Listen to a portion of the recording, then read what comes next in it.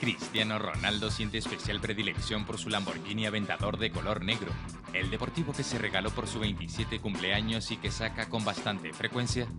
Pero no es el único, en su garaje particular el portugués también pura potencia y pura aceleración cuenta con unos 20 vehículos de gama alta que conforman la denominada flota Cristiano.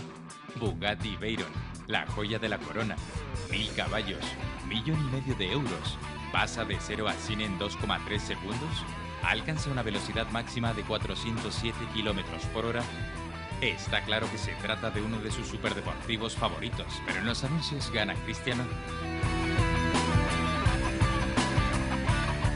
McLaren MP4 12C Spider, 625 caballos, 390.000 euros. Motor V8 trasero, pasa de 0 a 100 en 3,1 segundos y alcanza una velocidad máxima de 329 km por hora es el juguete que adquirió en 2012 en pleno run run sobre su renovación al poco de declarar que se sentía triste.